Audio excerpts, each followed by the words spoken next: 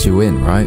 Here's how to make your own mysterious Netflix-style title screen. Create a folder of random photos of buildings, newspapers, and weapons.